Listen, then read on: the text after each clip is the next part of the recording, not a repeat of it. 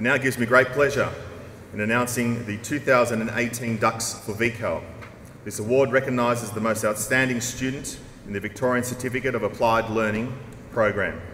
The recipient of the 2018 award demonstrated outstanding commitment to his chosen pathway and vocation.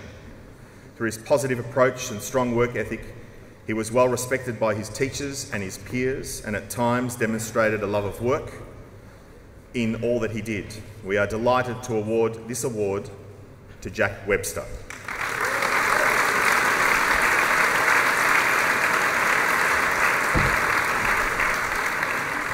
Our principal, Mr Murphy, and our VCAL coordinator, Mr Baldwin, will present now not only a plaque but a notebook computer, courtesy of ASA. Good morning to the Marcellin community. I am proud to be speaking in front of you today and want to deliver a message of great gratitude. I want to thank all you boys for instilling the culture that this school has. It's something that will stay with me and I hope it stays with you for the rest of your time at Marcellin. I started Marcellin in 2017 wanting to make a difference to my education.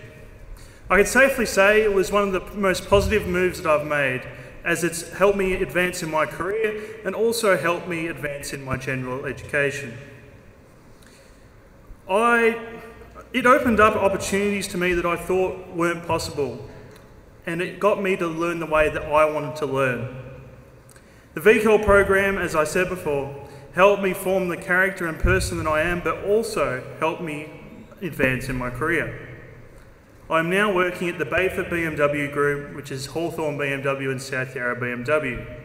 This was down to the work placements uh, schedule that VCAL offers. This then led me into the career that I've always wanted to do. Marcellin also gave me the opportunity of starting at the Eagle Beans Cafe. This was a project that we did through year 12. It taught me the ups and the downs of running your own business, which is a I'll tell you what, it's very interesting. the good parts, the bad parts, the parts where you, mm, ugh, and then the brilliant parts where everyone's smiling. VCAL really opened my eyes to something that I thought wasn't possible. I looked at the regular, regular pathway and went, eh, not really for me. However, VCAL has really allowed me to go out and do exactly what I've wanted to do. I'd like to thank a few people here at Marcellin, especially the boys and also the teaching staff.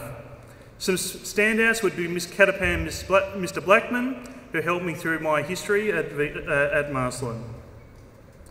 Also would like to thank Miss Hanson, which uh, she saw my slightly passionate side of the cafe, as uh, I'm sure she'd know.